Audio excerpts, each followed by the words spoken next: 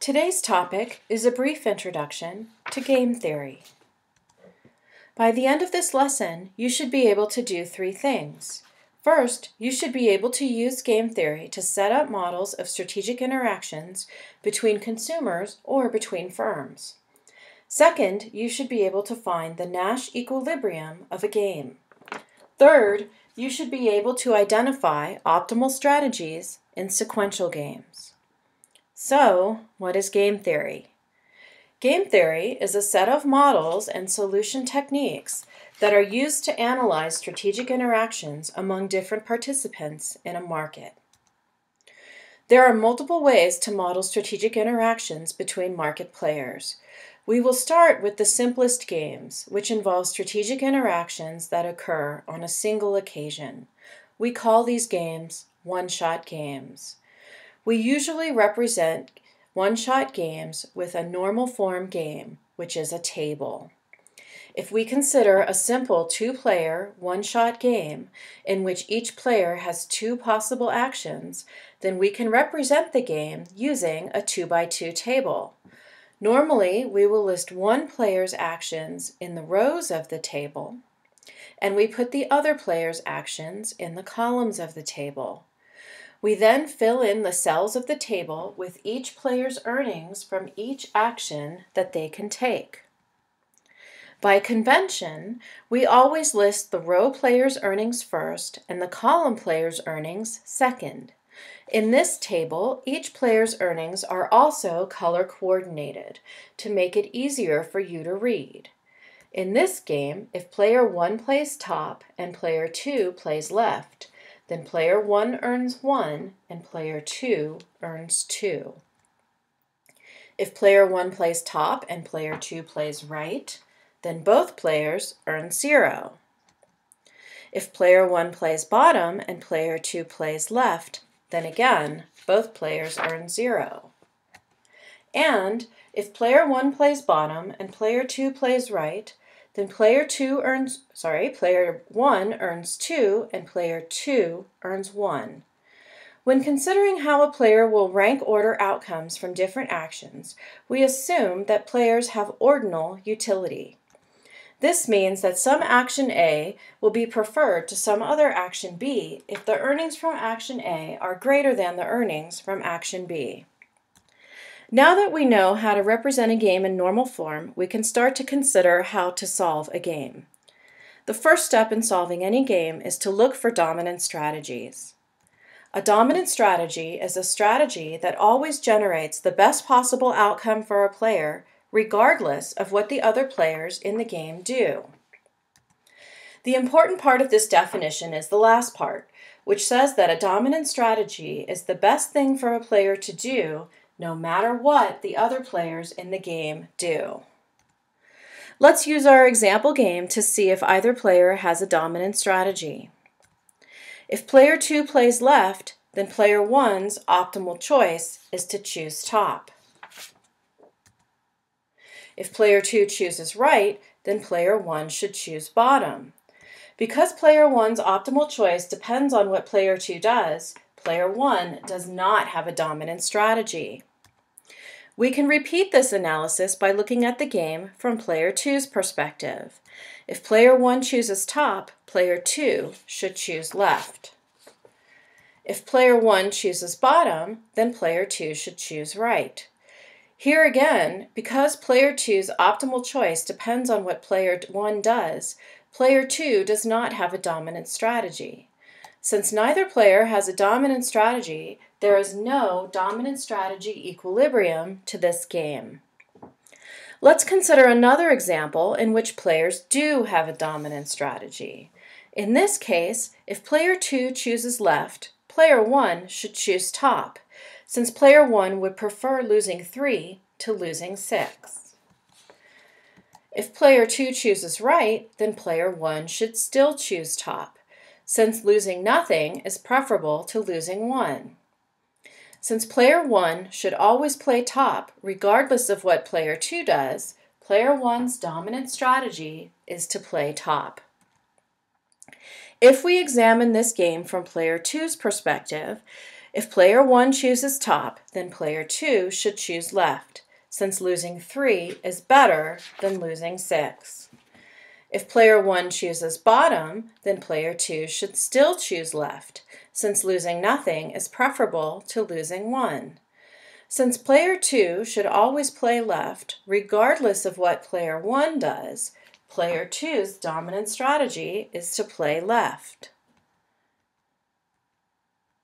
Since both players in this game have a dominant strategy, the dominant strategy equilibrium of this game is top left. This game is an example of a very special game known as the prisoner's dilemma. In this game, player 1 and player 2 are criminals who have been accused of a crime and placed in different interrogation rooms. Each player's actions are either to confess the crime and implicate their associate or deny that they committed the crime. If both players deny, then the prosecution only has enough evidence to convict them of a lesser crime, and they each receive light sentences of one year. If one player confesses and one denies, then the player who confesses gets a plea deal and gets no time, and the player who denies is convicted using the evidence provided by the confessor and gets six years. If both players confess, they receive an intermediate sentence of three years. Because both players have a dominant strategy to confess, this is the predicted outcome of the game. However, both players could be better off if they both deny. Because both players could be made better off by doing something different, the dominant strategy equilibrium is not Pareto efficient. The general class of games in which players playing their dominant strategy results in an inefficient outcome are known as prisoner's dilemma games. The voluntary contributions game in public goods markets is an example of another game that has the same incentives and outcome as a prisoner's dilemma game. Sometimes, even though a player does not have a strategy that is always better, they will have a strategy that is always worse. Such a strategy is known as a dominated strategy. Therefore, if you fail to find a dominant strategy equilibrium in a game, your second step should be to eliminate any dominated strategies and see if that leads you any closer to a solution. Let's consider a more complicated game for this example. In this game, there are still only two players, but each player has three possible actions. Let's start by considering player 1. For player 1, playing top always gives earnings that are the same as or worse than both middle and bottom. Thus, for player one, we say that the strategy top is a weakly dominated strategy, and we can eliminate it as one of the strategies that player one is likely to play. Now that we've eliminated top, we should consider the game from player two's perspective. If player 2 knows that player 1 will never play top, then for player 2, Center is always at least as good or better than either left or right. When this is the case, we say that player 2 has a weakly dominant strategy to play center. Given this, player 1 should play bottom. Therefore, by eliminating dominated strategies, we have found the equilibrium outcome of this game. If we cannot find an outcome of the game by identifying dominant and dominated strategies, then step three of the analysis is to look for a Nash equilibrium. We start by identifying all pure strategy Nash equilibria of the game. If a player is playing a pure strategy, then they are choosing one strategy and sticking to it. Contrast this with a mixed strategy in which a player randomly chooses between two or more actions. An outcome is a Nash equilibrium if player A's action is an optimal response to player B's action and player B's action is simultaneously an optimal response to player A's action. Let's consider a couple of examples to see how to find the Nash equilibrium of a game. To find the pure strategy Nash equilibria of a game, start by asking yourself this question for each outcome. At this outcome, given what the other player is doing, does either player has an incentive to change what they are doing? If the answer is yes for either player, then that outcome is not a Nash equilibrium. If the answer for both players is no, then the outcome is a Nash equilibrium. Let's consider the example from the start of this presentation. Let's start with the outcome top left. Does either player have an incentive to change what they are doing at this point, given what the other player is doing? Given that player 1 is playing top, player 2 does not have an incentive to change from left to right, since they will earn 0 instead of 2 if they change. Similarly, given that player 2 is playing left, player 1 does not have an incentive to change from top to bottom. Since neither player has an incentive to change what they are doing, the outcome top left is a Nash equilibrium of this game. However, it is not necessarily the only Nash equilibrium of the game, so we should consider the other outcomes as well. We can easily rule out top right since both players have an incentive to change what they are doing at that point. We can rule out bottom left using a similar logic. We have one more outcome to check, which is bottom right. If player 1 is playing bottom, Player 2 does not have an incentive to switch from right to left. Similarly, if player 2 is playing right, player 1 does not have an incentive to switch from bottom to top. Therefore, this outcome is also a Nash equilibrium. We have found that this game has two Nash equilibria, top left and bottom right. Let's do one more example that's a bit more complicated. This game is similar to the two-player, three-action game that we examined earlier, except that some of the earnings have changed slightly. We know from earlier that top is a dominated strategy for player 1, so to make our lives easier, we'll eliminate all outcomes involving player 1 playing top from consideration, since we know that all these outcomes, player 1 has an incentive to change what they are doing. We have six outcomes to consider. Let's start with middle left. If player 1 is playing middle, player 2 does not have an incentive to change to either center or right. Similarly, if player 2 is playing left, player 1 does not have an incentive to switch to bottom. Therefore, middle left is one Nash equilibrium of this game. If we consider middle center, at this outcome, given that player 2 is playing center, player 1 has an incentive to switch to bottom. So this outcome is not a Nash equilibrium. At middle right, given that player 1 is playing middle, player 2 has an incentive to switch to either left or center, so this outcome is not a Nash equilibrium either.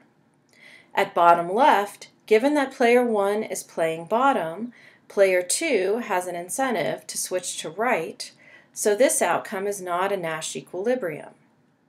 At bottom center, player 2 also has an incentive to switch to right, so this outcome is not a Nash equilibrium. Finally, at bottom right, given that player 2 is playing right, player 1 has an incentive to switch to middle, so this outcome is not a Nash equilibrium. Therefore, we have found that this game has a unique pure strategy Nash equilibrium of middle left. What if we don't find any pure strategy equilibria for a game, or we find multiple pure strategy equilibria? In this case, we can also look for mixed strategy equilibria. In a mixed strategy equilibrium, players randomly choose between two or more strategies. The key to finding a mixed strategy equilibrium is to note that in such an equilibrium, each player will choose their strategies in such a way as to make their opponent indifferent between their possible choices. Let's consider an example. In this game, we found that there were two pure strategy Nash equilibria, top left and bottom right. In a game such as this, there will also be a mixed strategy equilibrium. Let's let P be the probability with which player 1 chooses top, which means that they will choose bottom with probability 1 minus P. Player 1 wants to choose P to make player 2 indifferent between playing left and right. If player 1 plays top with probability P and bottom with probability 1 minus P, player 2's expected earnings from playing left are 2P. Player 2's expected earnings from playing right are 1 minus P. To make player 2 indifferent between these two choices, player 1 should choose P so that player 2's expected earnings from the two choices are the same, which means that 2P equals 1 minus P. If we solve this equation for P, we find that player 1 will play top with probability 1 third and bottom with probability 2 thirds. We can conduct a similar analysis to find player 2's optimal strategies. Player 2's probability of playing left is q, and their probability of playing right is 1 minus q. Player 2 should choose Q in order to make player 1 indifferent between playing top and playing bottom. Player 1's expected earnings from playing top are equal to Q. Player 1's expected earnings from playing bottom are 2 times the quantity 1 minus Q. In order to make player 1 indifferent between playing top and playing bottom, player 2 should play left with probability 2 thirds and right with probability one third. When we combine each player's mixed strategy, we have found the mixed strategy equilibrium of the game. So far, in all of the games that we have studied, players make their choices simultaneously. In many strategic situations, players make their choices sequentially. To represent a sequential game, economists often use the extensive form of a game. An extensive form representation of a game is simply a tree. We put the player who goes first at the first node of the tree and create a branch for each of player one's possible actions. The player who goes second goes at the end of player one's branches, with his possible actions as branches as well. We put the earnings for each player at the ends of the branches, following the convention that we list the first mover's earnings first. Color has been added to this diagram to help you link players, actions, and earnings. To solve sequential games, we use a process called backward induction. With backward induction, we start by determining the optimal strategy for the player who goes last and then given this, determine the optimal strategy for the player who moves first. The game represented in this diagram is a version of a game called the proposer-responder game. This game can be generalized to apply to all sorts of negotiation situations. In this game, the proposer has $4, which he can de decide to divide either evenly or unevenly. Once the proposer announces the division, the responder can either accept or reject the proposer's offer. If the responder accepts, the money is divided according to the proposer's chosen decision. If the responder rejects the proposal, both players get zero. We can see that in this game, the responder's optimal choice is to accept either offer, since getting something is better than getting nothing. Given this, the proposer's optimal choice is to make the uneven offer. Therefore, the equilibrium outcome of this game will be for the proposer to make the uneven offer and the responder to accept it. An interesting question is whether, in reality, responders are willing to accept uneven offers. This, and many other applications of game theory, are the focus of experimental and behavioral economics. Unfortunately, these topics are beyond the scope of this lesson, but I encourage you to explore them on your own. This concludes this introductory lesson on game theory.